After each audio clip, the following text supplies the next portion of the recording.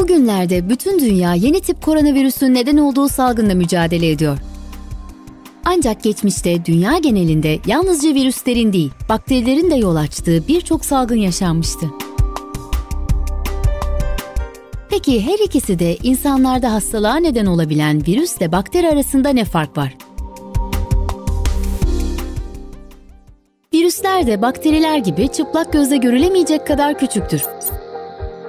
Bu nedenle hem virüsler hem de bakteriler sadece mikroskop yardımıyla görülebilir. Peki ya şekilleri? Virüsler çok farklı şekillere sahipken bakteriler çubuk, yuvarlak ve spiral şekillerde olabilir. Virüslerin yapısı bakterilerden çok farklıdır. Virüslerin genetik materyali DNA veya RNA olabilir. Ayrıca yapılarında genetik materyali koruyan bir protein kılıf bulunur. Bakterilerin yapısındaysa DNA, ribozom, sitoplazma, hücre duvarı ve hücre zarı vardır.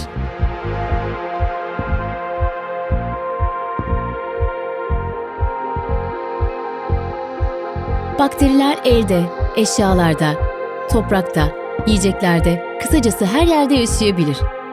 Yaşamak için başka bir canlı hücreye ihtiyaç duymazlar. Virüslerin ise kendi metabolizmaları yoktur.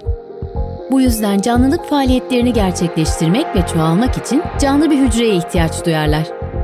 Virüsler girdikleri konak hücreyi kullanarak DNA ya da RNA'larını çoğaltır. Enfekte ettikleri sağlıklı hücrelerse ölür. Diğer taraftan bakterilerin hepsi insanlara zarar vermez. Doğada birçok faydalı bakteri türü de bulunur. Örneğin bağırsağımızda yaşayan bakteriler besinlerin sindirimine yardımcı olur. Bakteri türleri insanda tüberküloz, veba ve idrar yolu enfeksiyonu gibi hastalıklara sebep olabilir.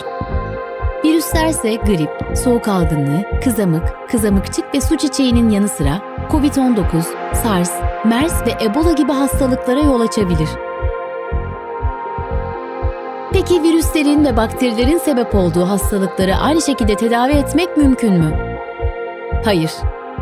Bakterilerin sebep olduğu hastalıklar çoğunlukla antibiyotikle tedavi edilebilir. Ancak virüsler antibiyotiklerden etkilenmez.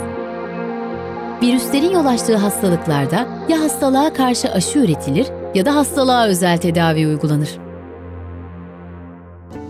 Hasta olduktan sonra tedavi yöntemlerini aramaktansa hasta olmamak için çaba göstermek hepimiz için daha kolay. Virüslerin ve bakterilerin neden olduğu hastalıklardan korunmak içinse kişisel hijyeninize ve sosyal mesafe kurallarına dikkat etmeyi unutmayın.